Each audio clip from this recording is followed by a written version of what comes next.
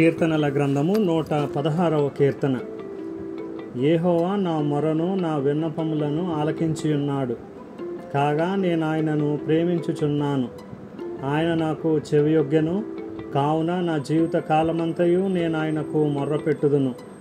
మరణ బంధములు నన్ను చుట్టుకొని ఉండెను. పాతాళపు వేదనలు నన్ను పట్టుకొని ఉండెను. శ్రమయు దుఃఖమును నాకు కలిగెను. అప్పుడు ఏహోవా దయచేసి నా ప్రాణమును విడిపింపుమని ఏహోవ నామమును బట్టి నేను మొర్రపెట్టి తిని ఏహోవ దయాళుడు నీతిమంతుడు మన దేవుడు వాత్సల్యత గలవాడు. ఏహోవ సాధువులను కాపాడువాడు. నేను కృంగి ఉండగా ఆయన నన్ను రక్షించెను. నా ప్రాణమా? ఏహోవ నీకు క్షేమము విస్తరింపజేసి ఉన్నాడు తిరిగి నీ విశ్రాంతిలో ప్రవేశింపుము.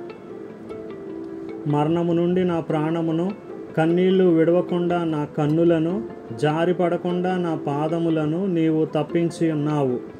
సజీవులున్న దేశములలో ఏహోవ సన్నిధిని నేను కాలము గడుపుదును. నేను అలాగూ మాటలాడి నమ్మిక ఉంచి తిని నేను మిగిల బాధపడిన వాడను. నేను తొందరపడిన వాడనై ఏ మనుష్యుడును నమ్మదగిన వాడు కాడనుకొంటిని. ఏహోవా నాకు చేసిన ఉపకారములన్నిటికీ నేను ఆయనకి ఏమి చెల్లించుదును? రక్షణ పాత్రను చేతపుచ్చుకొని ఏహోవ నామమున ప్రార్థన చేసేదను. ఏహోవాకు నా మ్రొక్కుబళ్ళు చెల్లించెదను. ఆయన ప్రజలందరి ఎదుటనే చెల్లించెదను. ఏహోవ భక్తుల మరణము ఆయన దృష్టికి విలువగలది. యెహోవా నేను నిజముగా నీ సేవకుడను. నీ సేవకుడను నీ సేవకురాలి కుమారుడనై ఉన్నాను. నీవు నా కట్లు విప్పి ఉన్నావు. నేను నీకు కృతజ్ఞతార్పణ నర్పించదను ఏహో నామమున ప్రార్థన చేసేదను.